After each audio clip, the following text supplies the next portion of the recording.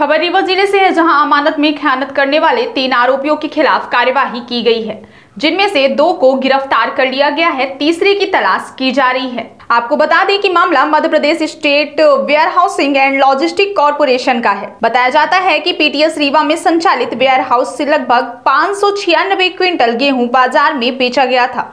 जिसकी शिकायत प्रबंधक के द्वारा की गई थी। उक्त मामले की जाँच कर दोषी पाए गए तीन आरोपियों के खिलाफ कार्यवाही की गई है। वेयर हाउसिंग एवं लॉजिस्टिक कॉरपोरेशन के सूत्रों से मिली जानकारी के अनुसार अमन शुक्ला, देवांशु शुक्ला और नागेन सिंह के खिलाफ प्रबंधक Madhya Pradesh state civil supplies corporation के द्वारा आरोपियों के खिलाफ अमैया थाने में शिकायत दर्ज कराई गई थी। पुलिस ने जाँच के बाद तीनों आरोपियों के खिलाफ धोखाधड़ी और आवश्यक वस्तु अधिनियम की धाराओं के तहत मामला दर्ज किया है। एफआईआर दर्ज होने की भनक लगते ही आरोपी फरार हो गए थे, जिनकी तलाश में पुलिस दबिश दे रही थी। तीन आरोपियों में से दो को गिरफ़्तार कर लिया गया है। बताया जाता है की लाखों रुपए का कीमती गेहूँ आरोपियों ने बाज़ार में बेच धोखाधड़ी की थी, जिनके खिलाफ आपराधिक प्रकरण दर्ज कराया गया है। पुलिस ने दो आरोपियों को गिरफ़्तार कर लिया है, जबकि तीसरे की तलाश की जा रही है।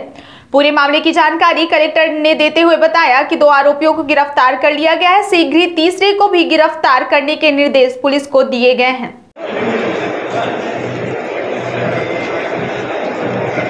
हाँ, इसमें जाँच कराई गई थी और नागरिक आपूर्ति निगम की तरफ़ से इसमें इन्वेस्टिगेशन किया गया और ये पाया गया है कि बिना धान के ही और उसके पूर्ति भी बता दी गई थी उसको अप्रूव भी कर दिया गया था और उसको जमा होना भी बता दिया गया था।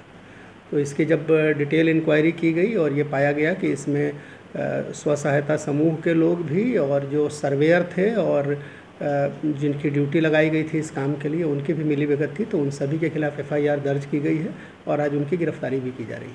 कितने के का दो ट्रक का था ये मामला तो इसमें एफआईआर हो गई है और गिरफ्तारियाँ भी आज दो की हो गई है एक की अब शाम तक हो जाएगी। फ़ोटो वीडियो दे दीजिएगा मुझे। बोरी है तो फ़ोटो नहीं लिखवा दिए कितना वज़न है। होगी जो दे दे। साठ बोरी है। बाइक कर लिए हैं क्या?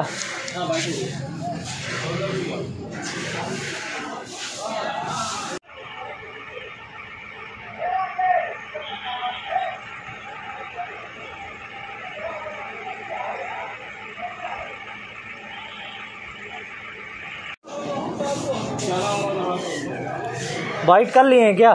हाँ।